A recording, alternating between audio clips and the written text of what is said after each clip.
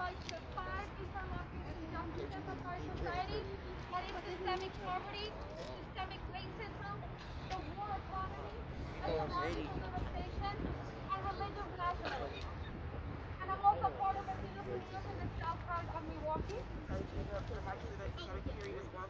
That's. You got that energy now. Come on, And, baby, come on. uh, I'm here today, first of all, because we gotta remember that Niesha is not with us physically, but she will always be with us spiritually. So I'm gonna ask that as I say Niesha, you all say presente, okay? Niesha? Presente. Niesha? Presente. Niesha? Presente.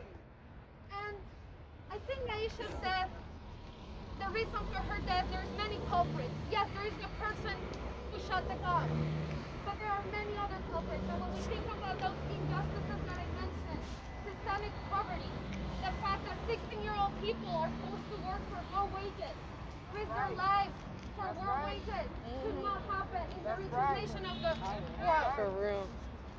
Burger King, McDonald's, and every corporation uh-huh. can and should pay a livable wage to everyone. Second, systemic racism. We know the black and brown, black and brown bodies when it comes to being in the front lines, we are there.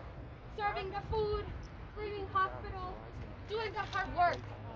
And it's not just us, there's plenty of poor white folks as well. But we know that we're always called to be on the line, to be the ones first keeping this economy going.